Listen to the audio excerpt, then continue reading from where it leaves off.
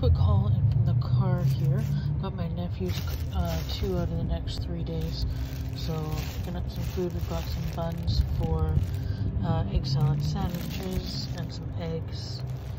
Uh, in here somewhere we've got some mayo right in there. Not something I usually have, but for dad's gift egg salad sandwiches.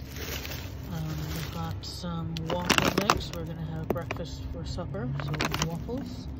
Got peanut butter and stuff already at home. Uh, guacamole, in case anybody wants their sandwich. Um, Mom suggested it. I think she wants some. Taco shells, just because we don't have any. I don't actually have plans for making tacos. Uh, yogurt. Uh, my mom requested some vanilla yogurt. Popsicles. I have pictures of my nephews eating popsicles in my house.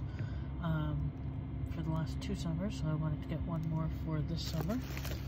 Then I've got some cheese down the bottom in case somebody wants a cheese sandwich for the egg salad. I know my sister will. Got some uh, veggie meat slices. I usually like the bologna kind, but they had ham, so that's what we got. Some bananas, some oranges. Got a couple of these to try. Wise Bites chocolate chip oat quinoa cookies. One of those up in the front seat.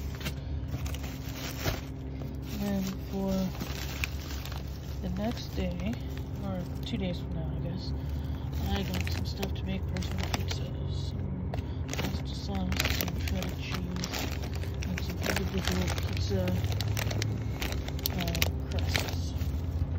Just so I have something extra fun for the nephews. That's it for the quiet car. My mom's car. Mine is still mousy. Oh. Oh, it's got mouse traps.